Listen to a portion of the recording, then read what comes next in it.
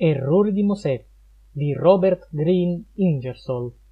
Capitolo 13 Facciamo l'uomo. Noi siamo poi informati dall'autore del Pentateuco che Dio disse Facciamo l'uomo a nostra immagine e somiglianza e che Dio creò l'uomo nella sua immagine.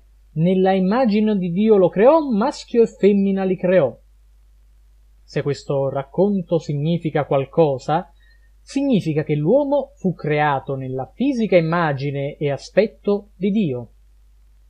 Mosè, mentre parla dell'uomo come di essere stato fatto nell'immagine di Dio, non parla mai di Dio come dotato di forma umana. Lui parla di Dio mentre cammina del, nel giardino nel fresco del giorno e che Adamo ed Eva sentirono la sua voce Egli ci dice costantemente che cosa Dio disse e in mille passaggi si riferisce a lui non solo come dotato di forma umana, ma facente azioni alla maniera in cui le fa un uomo. Il Dio di Mosè è un Dio con mani, piedi, organi per parlare, un Dio di passione, odio, vendetta, affetto e pentimento un Dio che ha commesso errori, in altre parole, un immenso e potente uomo. Non basterà dire che Mosè intendesse trasmettere l'idea che Dio ha fatto l'uomo nella sua immagine morale o mentale. Alcuni hanno insistito che l'uomo fu fatto nell'immagine morale di Dio perché fu fatto puro. La purezza non può essere manufatta un carattere morale non può essere fatto per l'uomo da un Dio. Ogni uomo deve costruire il suo carattere morale, conseguentemente, se Dio è infinitamente puro, Adamo ed Eva non furono fatti nella sua immagine sotto questo aspetto. Altri dicono che Adamo ed Eva erano la sua immagine mentale, se inteso che essi furono creati con una capacità di ragionamento simile, ma non alla stessa portata di quello di Dio, allora questo potrebbe essere ammesso. Ma certamente questa idea non era nella mente di Mosè. Egli guardava alla forma umana come essere nell'immagine di Dio e per quella ragione parlò sempre di Dio come avente tal forma. Nessuno può leggere il Pentateuco senza arrivare alla conclusione che l'autore supponeva che l'uomo fu creato nella somiglianza fisica della divinità. Dio disse andiamo, scendiamo. Dio annusò una dolce fragranza. Dio poi si pentì di aver fatto l'uomo. E Dio disse, e camminò, e parlò, e si riposò. Tutte queste espressioni sono inconsistenti con una qualunque altra idea che la persona che le usava guardava a Dio come avente forma umana. È un dato di fatto che sia impossibile per un uomo concepire un Dio personale, se non avente la forma umana. Nessuno può pensare di un essere infinito avente forma di cavallo o di uccello o di qualsiasi animale che non l'uomo. È una di quelle necessità della mente di associare le forme e capacità intellettuali. La più alta forma di cui abbiamo concetto è quella umana e conseguentemente la sua è la sola forma che possiamo trovare nell'immaginazione per darla a un Dio personale, poiché tutte le altre forme sono, nella nostra mente, connesse a minori intelligenze. È impossibile pensare a un Dio come a uno spirito informe. Possiamo usare queste parole, ma non trasmettono alla mente un reale e tangibile significato. Ognuno che pensi a un Dio personale pensa a lui come un forma umana.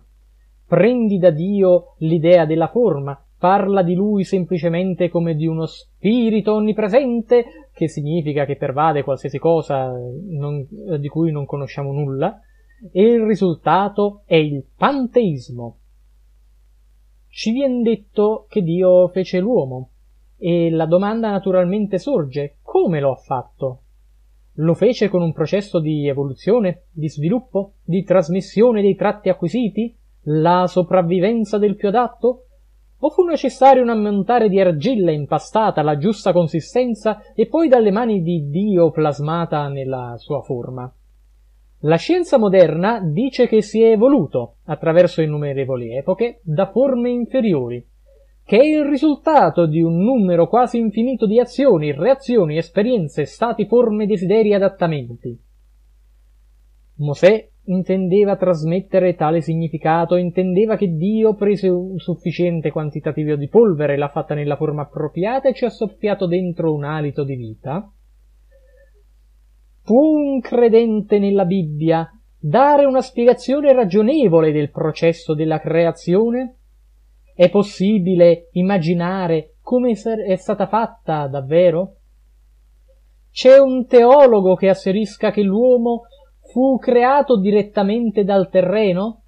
Ci dirà egli che l'uomo fu fatto sostanzialmente come oggi con i suoi muscoli propriamente sviluppati per camminare e parlare e fare ogni varietà d'umana azione, che tutte le sue ossa furono formate così come sono e tutte le, reaz- le relazioni di nervi, legamenti, cervello e movimenti che ha adesso? Guardando indietro nella storia della vita animale, dalle più basse alle più alte forme, noi troviamo che c'è stato un lento e graduale sviluppo una certa ma costante relazione tra scopo e risultato, tra uso e forma. Il monero è detto essere la più semplice forma di vita animale mai trovata. Esso è descritto come un organismo senza organi. È una specie di struttura non strutturata, una piccola massa di gelatina trasparente che può appiattirsi, può espandersi e contrarsi attorno al suo cibo può nutrirsi senza una bocca, digerire senza uno stomaco, camminare senza piede e riprodursi per semplice divisione. Prendendo questo monero come inizio della vita animale o come primo animale, è piuttosto facile seguire lo sviluppo della struttura organica attraverso tutte le forme della vita fino all'uomo stesso.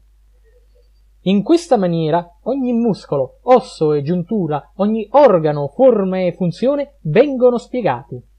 In questa maniera e solo in questa l'esistenza di organi rudimentali può essere spiegata.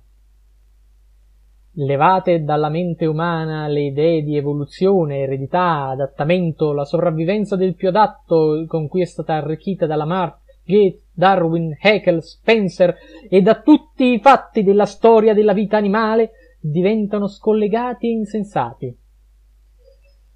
Dovremmo noi gettar via tutto ciò che è stato scoperto riguardo alla vita organica e al suo posto prendere le affermazioni di chi è vissuto nella rude mattina di un giorno barbaro? Dirà qualcuno ora che l'uomo fu una creazione diretta e indipendente, non ha relazioni con gli animali sotto di lui? Le opinioni su questa materia devono essere infine governate dall'evidenza.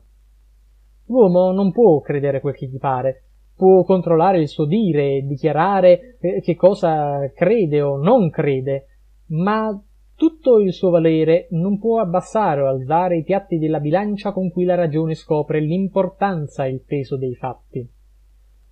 Se così non fosse, investigazione, evidenza, giudizio e ragione non sarebbero che parole vuote. Chiedo di nuovo, come vennero creati Adamo ed Eva? In un racconto essi sono creati maschio e femmina e apparentemente allo stesso momento. In quello successivo, Adamo per prima ed Eva un lungo tempo dopo da una parte dell'uomo. Dio ha semplicemente e per il suo atto creativo fatto sì che una costola lentamente si espandesse, crescesse e si dividesse in nervi, legamenti, cartilagine e carne? Come è stata creata una donna da una costola? Come è stato creato un uomo semplicemente dalla polvere. Per parte mia, io non posso credere a questa affermazione. Potrò soffrire per questo nel prossimo mondo e potrei fra milioni di anni sinceramente desiderare che io non avessi mai investigato questa materia, ma mi fossi invece accontentato di prendere le idee dei morti. Io non credo che una qualsiasi divinità operi in, in tal maniera. Fin dove la mia esperienza giunge, c'è una interrot- ininterrotta processione di cause ed effetti ed ogni cosa è un anello necessario di una catena infinita.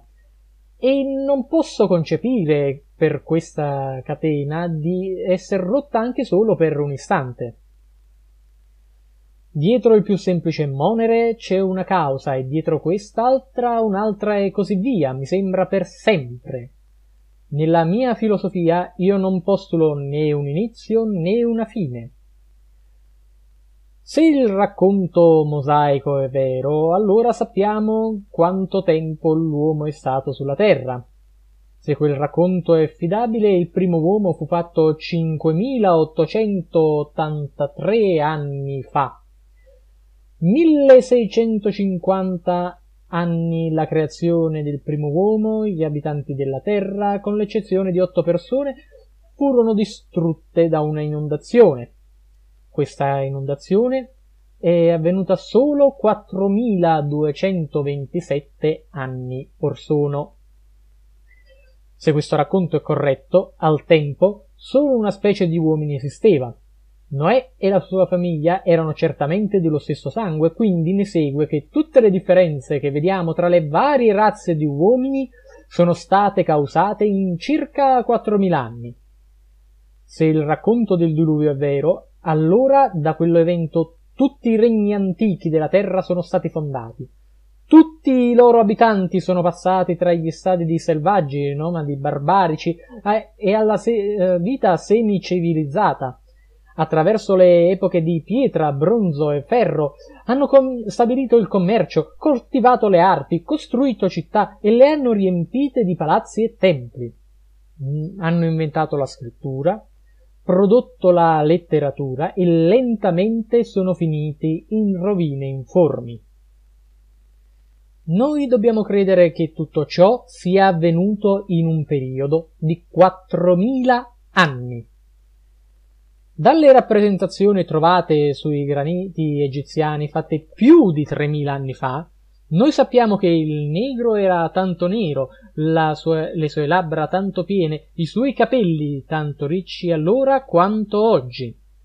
Se sappiamo qualcosa, sappiamo che a quel tempo c'era sostanzialmente la stessa differenza tra l'egizio e il negro che oggi. Se sappiamo qualcosa, sappiamo che magnificenti statue erano fatte in Egitto 4.000 anni prima della nostra epoca, vale a dire circa 6.000 anni fa. C'era nell'esposizione mondiale del Dipartimento egiziano una statua di re Cefren. Sappiamo sta- che sappiamo essere stata scolpita più di 6.000 anni fa. In altre parole, se il racconto mosaico deve essere creduto, quella statua fu fatta prima del mondo. Noi sappiamo anche, se sappiamo qualcosa, che l'uomo è vissuto in Europa con il peloso mammut, l'orso delle caverne, il rinoceronte e la iena. Tra le ossa di questi animali abbiamo trovato le asce e le frecce di pietra dei nostri antenati. Nelle caverne dove, si, dove vissero abbiamo scoperto i resti di questi animali che sono stati conquistati, uccisi, divorati come cibo centinaia di migliaia di anni fa.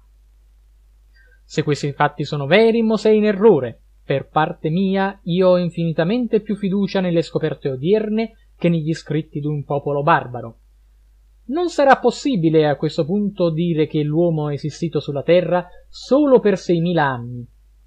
Si può difficilmente immaginare il tempo necessario all'uomo per emergere dallo stato barbaro nudo e incapace, circondato da animali più forti di lui, al progresso e finalmente a creare le civilizzazioni dell'India, d'Egitto e Atene. La distanza dallo stato selvatico a Shakespeare deve essere misurata non in centinaia, ma in milioni di anni.